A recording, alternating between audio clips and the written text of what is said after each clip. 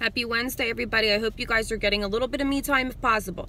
I know I look a hot mess. Wednesdays are not my favorite day of the week. They're not. Some people look at it like halfway through the work week. I look at it like I still got two days left. Okay. So every morning I go, I stop, I get my coffee on the way to work. It's my routine, it's my thing, it's what I do. So I'm fixing my coffee and I'm minding my own business as I do. But you know when someone's next to you, now there's two people standing next to me you know, when you're standing right next to someone, you can hear what they're saying. Okay. So, apparently these two people must be have a connection to a local church, whatever.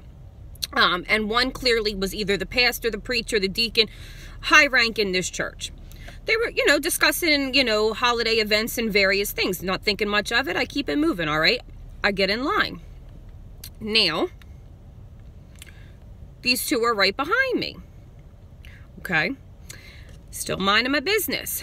Uh, a couple comes in, a gay couple, not a big deal, at least in my opinion. I don't get the big freaking deal with it, okay? But anyway, so I can hear them snickering. They're talking shit.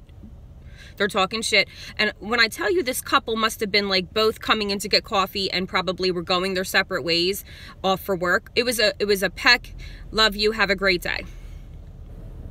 That was it. They weren't making love in the 7-Eleven in the in the freaking uh, bakery aisle. Okay? There was nothing jumping off, you know, getting water bottles or something. It was a peck. Anyway, so these two are behind me and and they're they're talking a little bit of smack. I can't make everything out, but I can tell it's definitely condescending towards this couple. And I turn around and I look at them and I'm like, is there a problem? And they're like, oh, no, no, no, no, no. You know, just sometimes it's uncomfortable to see, um, to see that. And I was like, why? And they kind of blew me off. And I said, well, it'd be the same thing as a man and a woman, a husband and a wife, a boyfriend and a girlfriend saying goodbye to each other. And I rolled my eyes and I turned my head. But what burns me up is why is it sometimes the most religious people, and I am a spiritual person, okay? I have my own beliefs. But uh, I, I believe in love and, and happiness and kindness, okay? Why is it sometimes religious figures or people that are deep in the church, um, the, the Bible thumpers, are the biggest smack talkers?